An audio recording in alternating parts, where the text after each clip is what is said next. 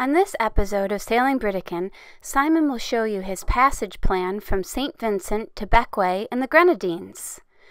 We'll show you what it looks like when an anchor drags, some sights of Bequia, including the town, some beaches, and a walk across the island. Simon will explain the process to repairing the black caulk on our teak deck. We'll show you the liveaboard cruiser hangout, show you what our daughter Sienna gets up to on a daily basis, a crazy rainstorm, a small bug issue, and find out if this situation ends well for Simon or not. Okay, here we are in St Vincent in Cumberland Bay. We're going to set off really early in the morning. We're going to release the line and go out minding this reef, going out down along the island, going south to Bequia. Um, and we love Bequia, we've been there before. We're Going to come in, and where we're going to anchor is Prince Margaret Bay. We're going to try and get in as close as we can because it's nice and sandy there and it gives us a little bit more shelter. It's more difficult to anchor out here, there's less places, and it's not as great holding as in by the beach. It's about 17, 18 miles, and it should take us about three hours. So we're in Cumberland Bay, and we had the long line back to a tree, and one of the uh, boat boys was kind enough to untie it for us because it was going to be very early in the morning. I didn't want to go for a swim that early. Off we went, and we left just before Rondo, who followed us out. Yeah, and the the whole trip from St. Vincent down to Bequia was easy. There was nothing to report. It was just you know very light winds, and um, we sailed most of the way. Just had a nice, easy sail. It was great. So thank you Cumberland Bay for having us. Absolutely spectacular, magical place. We'll definitely come back here. Cumberland Bay, it was fantastic. Thank you, Cumberland Bay. It was awesome.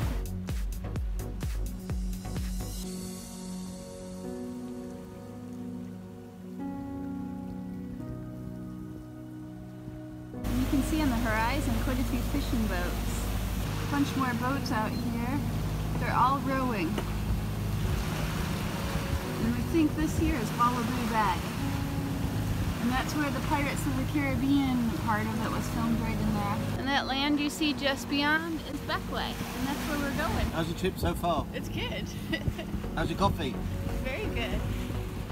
Did you just wake up? Yes! We're almost we there. have got No nibbles yet. We're going around it right now, but uh, we'll see. Okay, good luck because we could do with some tuna over. You know that we lifted anchor and left? No! Two hours ago. You've been sleeping real sound, like a little angel. This um, this bird is trying to get our lure. You do not want to ever catch a bird. Good job!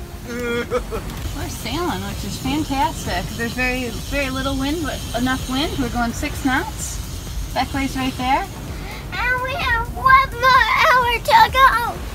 Woo! What are you gonna do when we get there? Homework. Homeschooling. Da-da-da-da-da. Funniest thing in the world.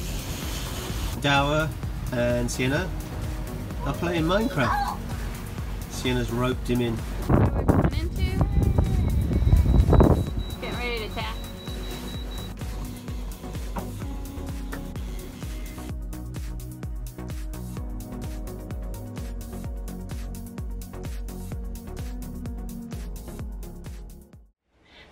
Once we got to Bequia, the first thing you do is find a place to anchor. We did it the same way we always do it. We dropped our anchor in what looks like a sandy patch and we let it hit the bottom. Simon puts the boat into reverse and we let out as much chain as we think we need.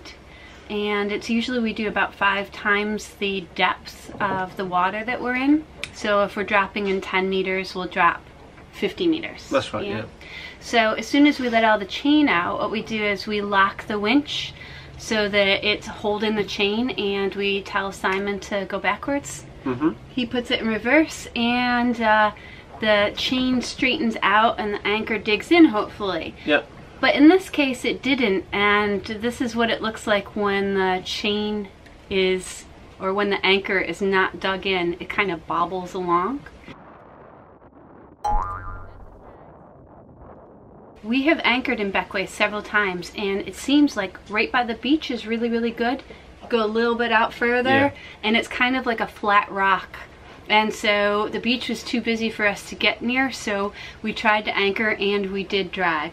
Yeah, we did, but it, that's not a, it's not a problem. Yeah. It's something that you're going to encounter. The best anchors in the world will only bite if it's something they can bite into, and and parts of the Bequia anchorage is it's not very good. So we just Yeah. dragged. Yeah, so we dragged and so we just picked up and we put the anchor down someplace else. Uh, we did all the normal stuff, it bit, and then Simon jumped off the boat and went to Okay, inspect so what I'm doing now, we've anchored, uh, it dragged once, and we found some sand and it's bit, and we're ha- I'm happy with it so far, but I'm going to go and dive on it. And what I'm looking for is following the chain to see if there's any rocks or coral, because I don't want to be damaging any coral, and I don't want to be damaging any chain if there's, any, there's too many rocks.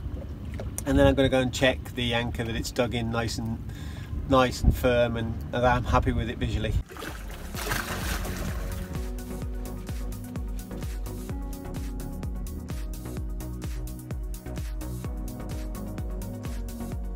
Oh, we got two thumbs up. Look at that. It's when I dived down for the anchor, turtle was right next to it, and it scared me. And how's the anchor look? It looks okay. It's very hard, uh, like compact sand over like rocks, and there's lots and lots of rocks around. So that's probably why we didn't Dig in um, to dig in the first time because it bounced over some rocks. Okay, are you feeling quite secure about it? I'm feeling very secure about it, um, but I wouldn't want to stay here too long because there's rocks all around and it's going to damage your chain. Rondo's coming in. Uh, they're going to come in and anchor right next to us. The three biggest mistakes we see new cruisers make regarding anchoring is that they have the wrong anchor for the type of seabed they're trying to anchor in, or they simply don't have a modern anchor. They don't have enough chain to properly let out enough scope, and they don't actually know how to properly set an anchor to decrease the likelihood of dragging. If you're a newbie, make sure to get my 32 page manual on how to anchor successfully. The guide will prevent you from making amateur mistakes in a busy anchorage, prevent your anchor from dragging, prolong the life of your anchoring equipment, and ultimately enable you to have a good night's sleep while on the hook. So after we anchored, me, Kim, Sienna, and Dower went into town to do a bit of exploring. Bequia is a very safe place, but it's highly advisable in all of the Grenadines to lock your dinghy. In fact, we not only lock the dinghy to the dock, but we also lock the outboard to the dinghy.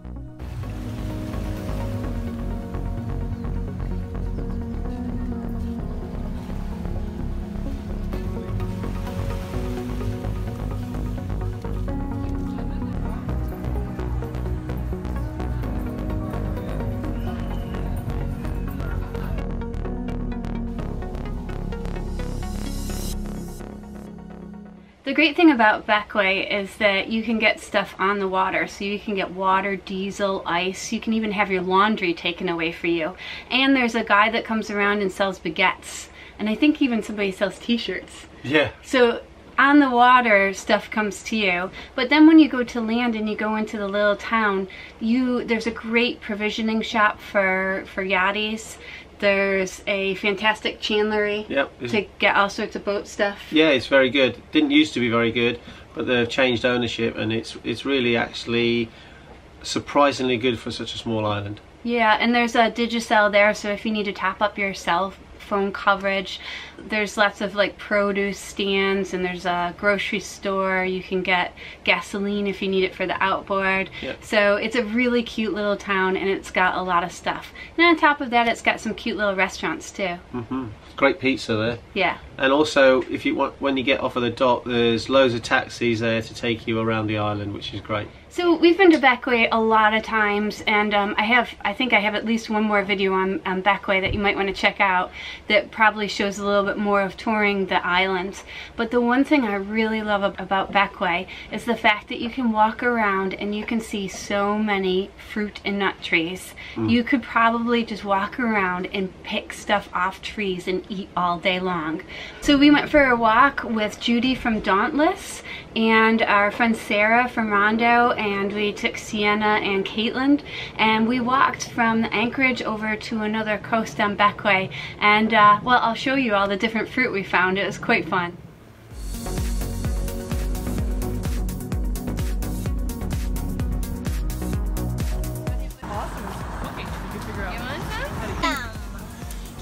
loves them.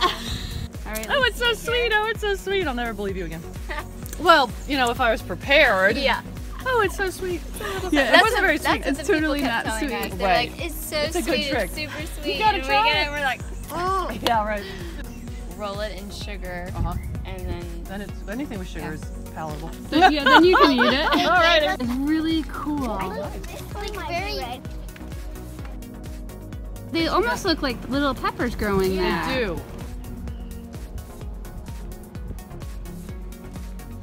So Those those, are are, those definitely are pomegranate. I've seen pomegranates. those small before.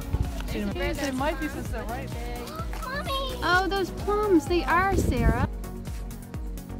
So, tail down is sheep, tail up is goat. Those are sheep.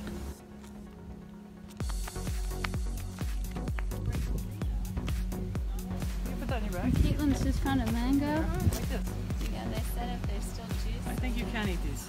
Pretty darn sure. Can you cook them? I. Really tart. It's sour. I heard you cook them.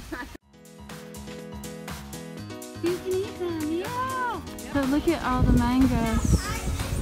Okay, so here's pomegranates. Beautiful. The beach.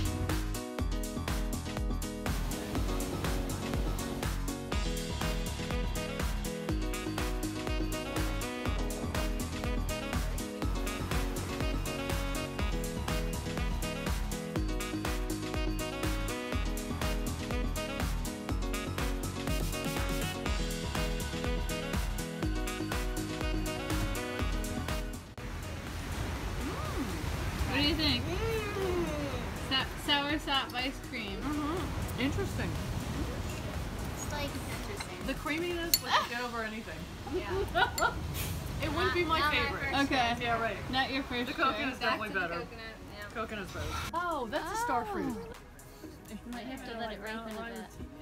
So cut it off Oh, so maybe, and then maybe. slice it like that. That'd be and sweeter eat if you it wait that like way. two more.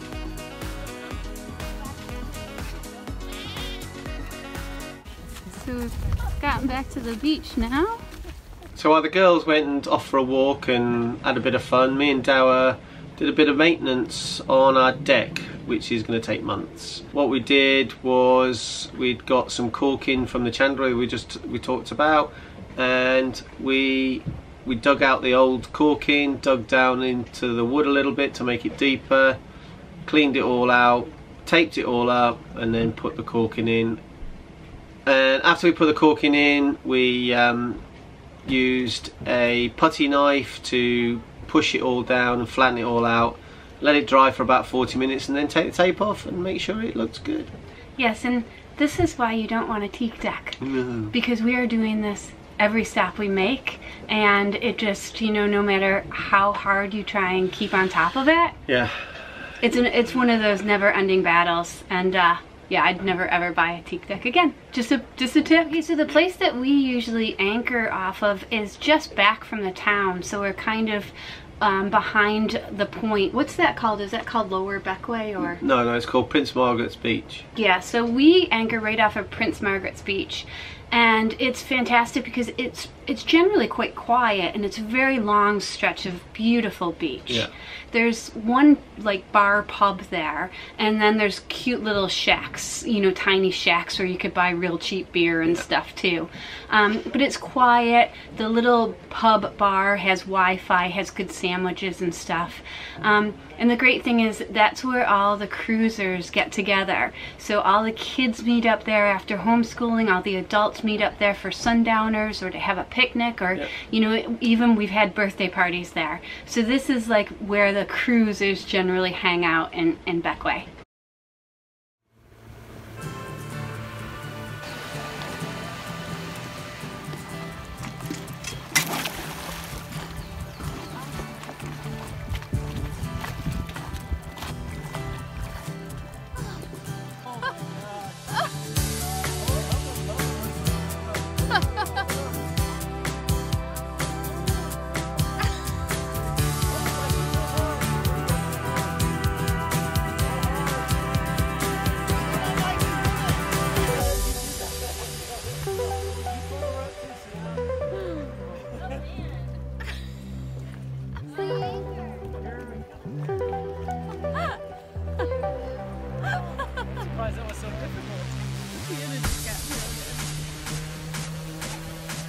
This time. I made it.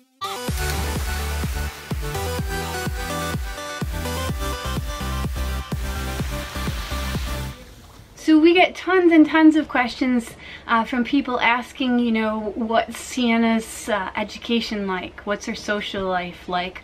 Um, I think Bequia is such a great island to really show you how many kids there can be around. We, when we arrived, we were with Rondo and then our friends from Pura Vida showed up and then there was more kid boats. I think in the end, maybe I counted 15 to 20 kids, which is fantastic. So once Sienna gets done with her homeschooling, she generally has to entertain herself for a little bit. Oh, I am human. Now I want to go into boat. So she'll play Legos or she'll do a puzzle. Okay, we got one left to go. We got one left to go. Come on, Sienna, put it in.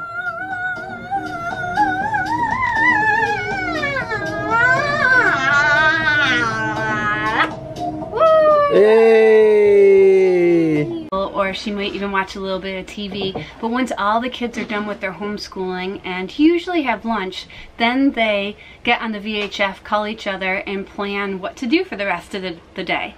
And it's fantastic. The kids go out on the paddleboard, they go out in little dinghies, they go over each other's boats, um, they build forts, eventually have sleepovers. There's all sorts of stuff they do. Yeah, yeah. I think I think Sienna was uh, learning how to fish while she was there with Mikey. Yeah. So that was great. So on an evening, sometimes the kids can go onto one boat because there's some older kids there that can look after them, and us adults can go out for a nice quiet drink at the local bars or on the beach. Or it could be a little bit more lively and we go out dancing. Sometimes we do.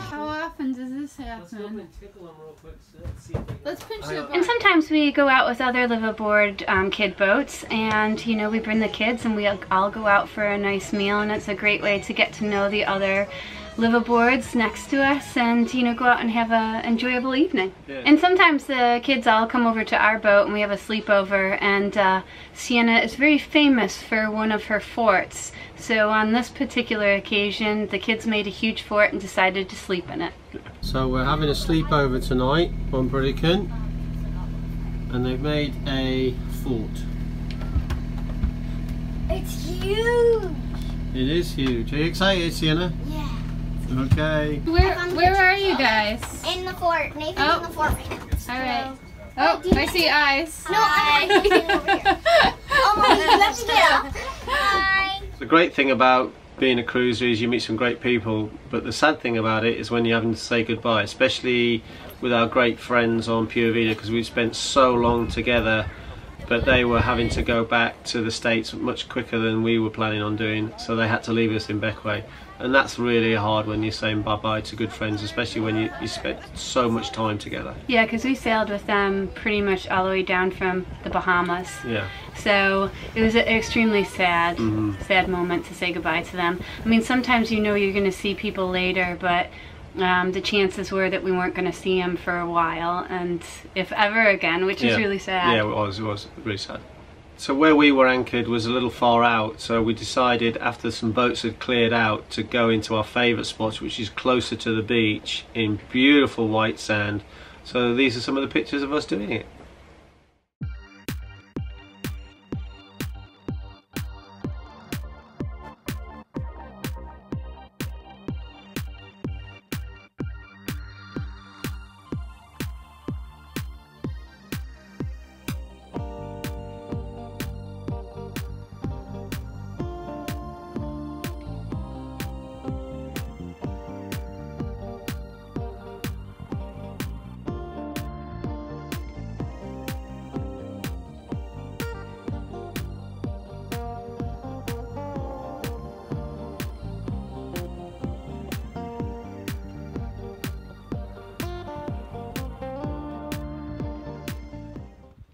So everybody pictures that living on a boat, sailing around you. They picture the sun, the warmth, you know, the beautiful beaches. Um, I think what people don't realize is that there is definite rainy seasons, and there's definitely times when it's a torrential downpour.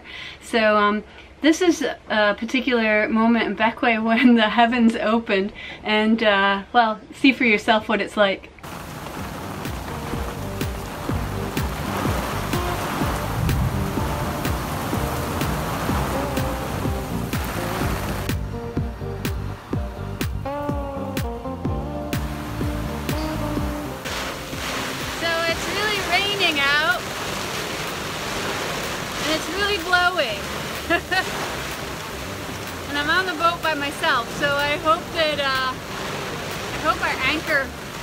Holds tight.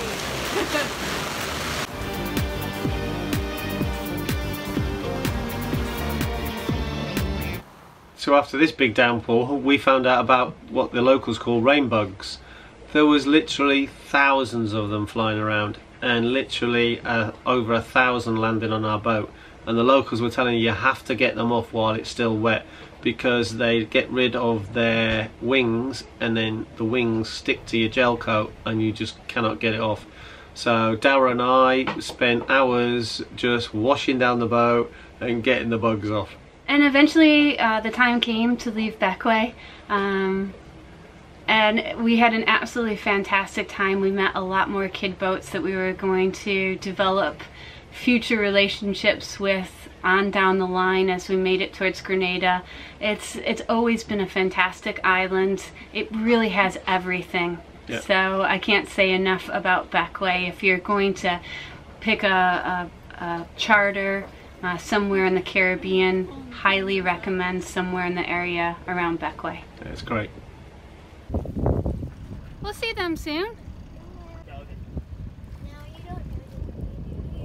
Thank, you, you Bequia. For having us. It's Been great. Oh, excuse me. Hmm. Oh, excuse me. We're getting ready now. you sure? Mm-hmm. Okay. Okay. Button there. Paddington Bear. Paddington Oh, I Bear. know. This my hair looks disgusting, and I'm getting too hot.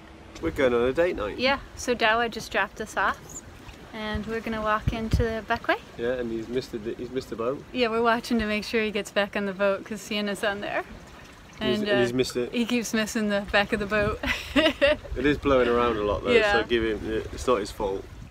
Remember to visit sailingbritican.com to find out more about our sailing guides, Britican Club, and learn about our week long Britican live aboard sailing experience offering.